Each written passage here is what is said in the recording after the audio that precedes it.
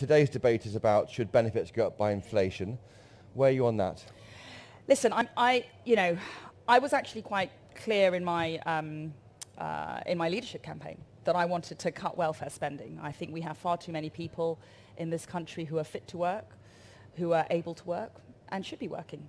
Um, and they, they, they choose they choose to top up their salaries with tax credits or they, uh, you know, the benefits street uh, kind of culture, I think, does is a feature of modern Britain. Is that still alive now? Yeah. So uh, I, I, think it, I think that culture does exist in my constituency in Fareham. I've got people here in Fareham, local councillors, and they will they will confirm that even in Fareham, on in sunny, leafy Hampshire, the, the southeast, possible southeast, there are pockets of communities where families have known nothing else but welfare, and Universal Credit did an amazing job of moving people off welfare and into work. But I think there is still a stubborn core of our population that sees welfare as the go-to option and is not motivated for financial or other reasons to get out there and work.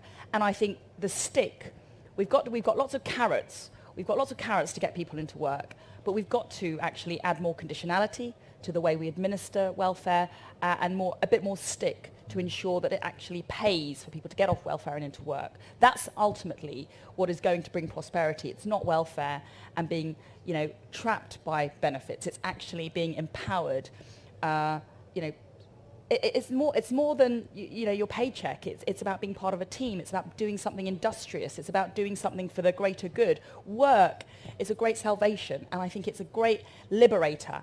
And i think culturally we still have to get that message across to millions of people in this country. So my view then was yes we need to cut welfare spending. However right now i do I, I, have to say, you know, the question is under review. I take on board what Penny Mordaunt has said, but I know the question is under review. We, we also need to support the most vulnerable.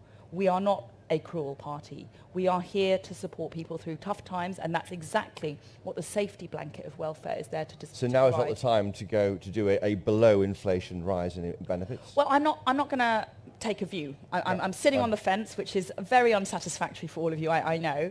But uh, the question is under review. That is what the Prime Minister has said. I think um, I'm going to support her in exploring this and issue give her fully. space to make it. Yes, and that's what I want. I'm not going to make policy up. So it's not helpful for Penny Mordaunt to give her view out so early on in the debate. Listen, we're all politicians. We've all got views. It's very hard.